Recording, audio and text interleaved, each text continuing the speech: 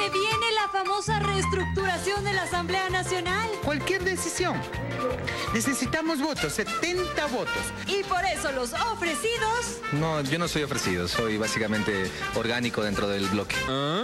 Hay otros que sin problema dicen clarito el puestito que quieren. Sí, me quiero quedar en educación. Bueno, estoy de presi encargada. Bueno, estamos allí peleando nosotros a ver qué es lo que sucede con la vicepresidencia de la Asamblea. Mientras que otros más tímidos esperan a que los mocionen. ¿Qué es lo que quiere? Vicepresidencia, presidencia de comisión. Bueno, en este eh, me han dicho de todo, pero todavía no está nada definido. Vicepresidencia de la Asamblea. Ah, no, depende del bloque. Que se viene la presidencia de la Comisión de Fiscalización. Ya usted viene otra vez con otro chisme. Todos tienen las mismas posibilidades, ¿no? Lo cierto es que los cambios vienen y por eso look se ha cambiado. Hasta el look, hasta el look, todo. Es decir, que se cambia de look y se cambia de comisión. Todo, ca- casa nueva, vida nueva.